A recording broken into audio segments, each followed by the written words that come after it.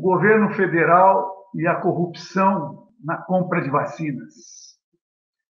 O governo Bolsonaro terá que oferecer as explicações sobre os processos de compra de vacinas para combater a pandemia do Covid-19. Precisará justificar cautelosamente os motivos pelos quais não comprou as vacinas de menor preço e que já estão aprovadas pelas agências internacionais. O que justifica a prioridade para vacinas não aprovadas e que custam mais caro? Afinal, o empenho para o pagamento da vacina Covaxin implica em cerca de 1 bilhão e 600 milhões de reais. Não é pouco dinheiro. Esse valor representa o pagamento de 15 dólares por dose da vacina, ou seja, cerca de R$ 80,70, enquanto que a negociação inicial dava preços de 1 dólar e 34 centavos por dose. O que fez crescer tanto esse preço? O que justifica a entrada de uma empresa a Precisa Medicamentos como atravessadora na compra de 20 milhões de doses da vacina Covaxin. E mais, o que justifica receber os valores correspondentes em um paraíso fiscal?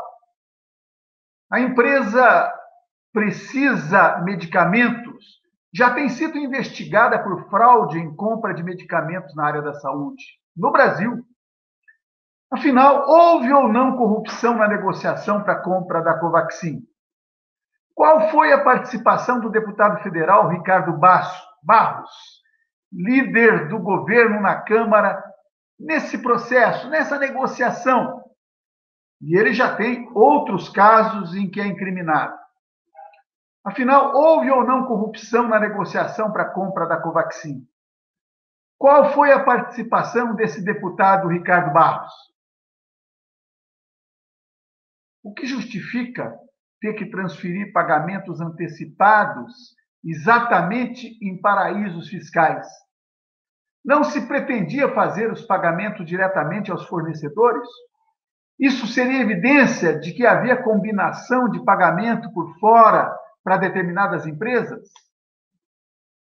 O senador Randolph Rodrigues, da Rede do Amapá, afirmou que há suspeitas de que a Madison Biotech empresa com sede em Singapura, que seria usada para receber antecipadamente 45 milhões de reais, de dólares, que na verdade correspondem a 221 milhões de reais, na compra da Covaxin, seja uma empresa de fachada.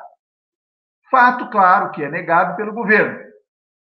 Mas imagens mostram um escritório que é uma porta atendendo diversas empresas.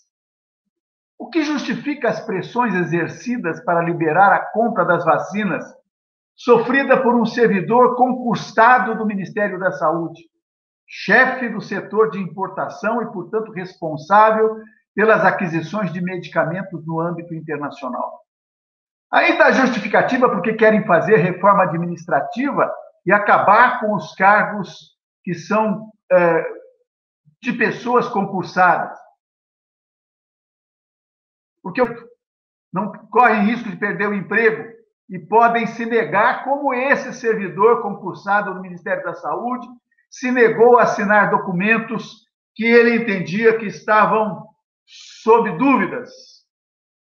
O que justifica que o presidente da República, Jair Messias Bolsonaro, tenha sido informado de todas essas travessuras no mês de março, tendo se comprometido a colocar a Polícia Federal para fazer as investigações, mas não agiu com a presteza e o rigor que são necessários, se omitindo, prevaricando. Acrescenta-se o fato de que o presidente Bolsonaro teria afirmado que tais problemas devem ter sido praticados por lideranças do deputado, do deputado federal e seu líder na Câmara, o Ricardo Barros. Afirmação do presidente da República, ou seja, Bolsonaro não pode alegar ignorância dos problemas identificados e que lhe foram relatados. Verificou-se que o servidor do Ministério da Saúde e seu irmão, o deputado federal Luiz Cláudio Miranda, que não é nenhum santo, é do DEM, do Distrito Federal, que juntos levaram a denúncia ao presidente da República, passaram a sofrer represálias, passaram a ser investigados por parte do ministro Onyx Lorenzoni. Afinal, quem denuncia é que deve ser investigado e os fatos relatados devem ser negligenciados? É de se ressaltar que os fatos narrados teriam acontecido enquanto era ministro da Saúde, o general do Exército Eduardo Pazuello.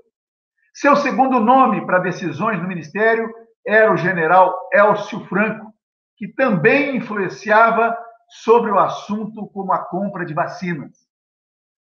A vacina Covaxin está sendo aplicada na Índia, ainda sem aprovação dos órgãos governamentais responsáveis pela análise da eficiência e eficácia do medicamento. A Covaxin ainda está em fase de estudos na Índia, sem apresentação dos resultados. Até na Índia, a surpresa pelo fato das autoridades brasileiras terem concretizado a negociação com o vendedor, a empresa Bharat Biotech.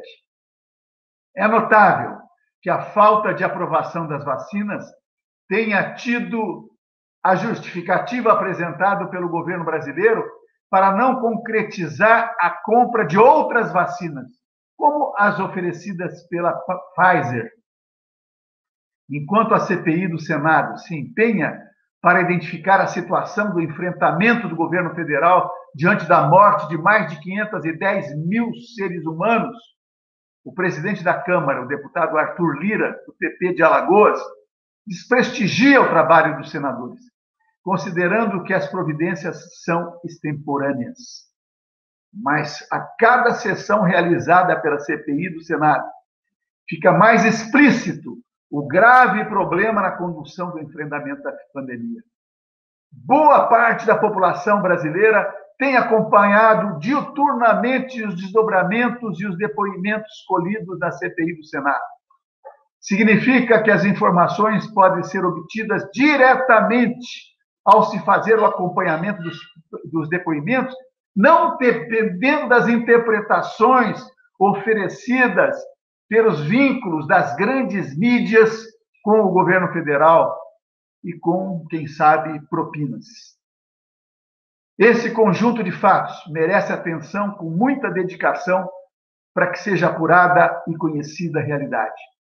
Não há como incriminar por antecipação mas a sequência dos fatos narrados indica forte evidência de haver corrupção em perfeitas condições de apuração por documentos já produzidos. No Brasil, tem havido condenação de pessoas que não cometeram falhas dolosas. Essa é uma boa oportunidade de se fazer justiça, envolvendo mortes de milhares de pessoas. A pandemia por Covid-19 mata e há responsáveis por tanto sofrimento.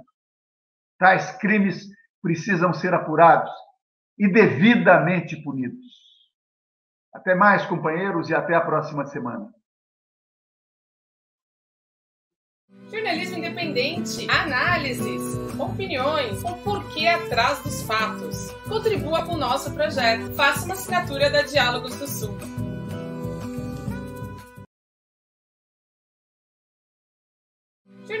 Independente, análises, opiniões, o porquê atrás dos fatos. Contribua com o nosso projeto. Faça uma assinatura da Diálogos do Sul.